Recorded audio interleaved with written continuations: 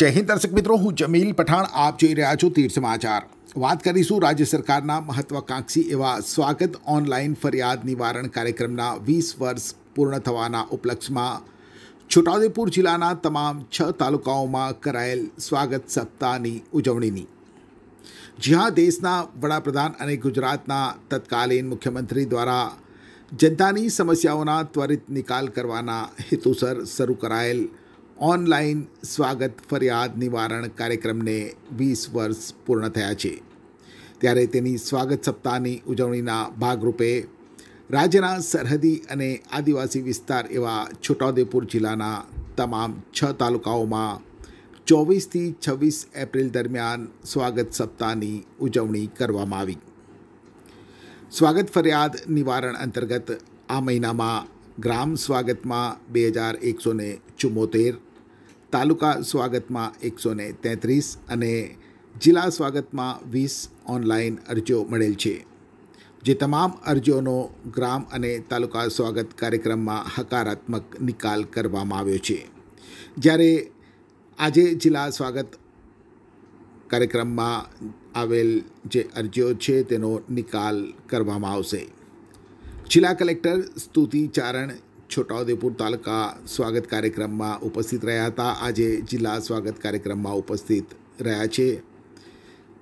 તો દરેક તાલુકા મથકે યોજાયેલ કાર્યક્રમમાં વર્ગ એકના અધિકારીઓ એ ઉપસ્થિત રહી અને અરજી સંબંધિત વિભાગના અધિકારીઓની રૂબરૂ તમામ અરજીઓનો સ્થળ ઉપર જ હકારાત્મક નિકાલ કરી સ્વાગત સપ્તાહની ઉજવણી કરી હતી.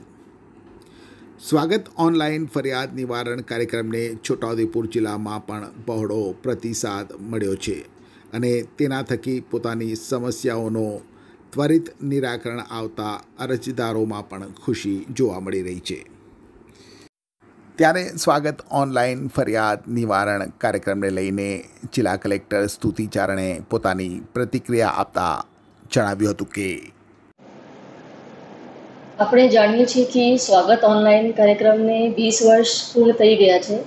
એટલા માટે છોટાઉદેપુર જિલ્લામાં પણ આ મહિને ગ્રામ સ્વાગત, તાલુકા સ્વાગત અને જિલ્લા સ્વાગતમાં ઘણો પ્રસાર કરીને વિવિધ અરજીઓ મેળવવાની કાર્યવાહી કરવામાં આવી હતી. અને છ તાલુકામાં જે ગ્રામ સ્વાગતની અરજીઓ હતી, આમાં બહુ સારો પ્રતિસાદ મળ્યો છે અને લગભગ બે હજાર એકસો ચુમ્મોતર અરજીઓ ગ્રામ સ્વાગતમાં મળી છે.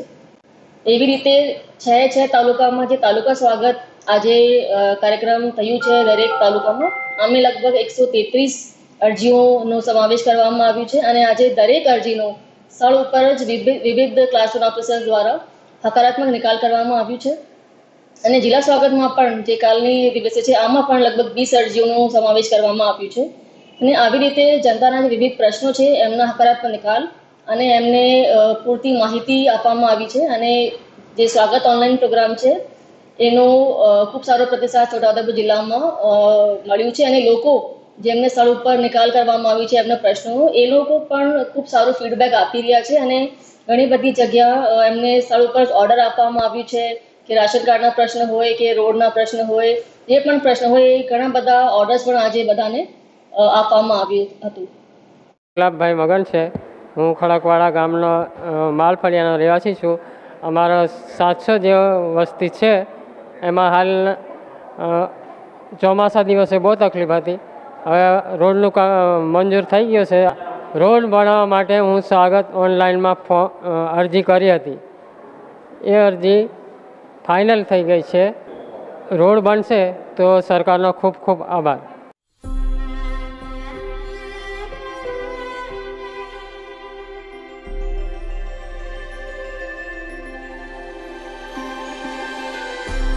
છોટાઉદેપુર સહિત રાજ્ય, દેશ અને દુનિયાના સમાચાર જોવા માટે સબસ્ક્રાઇબ કરો તીર સમાચાર અને બેલ આઇકોન જરૂર દબાવો.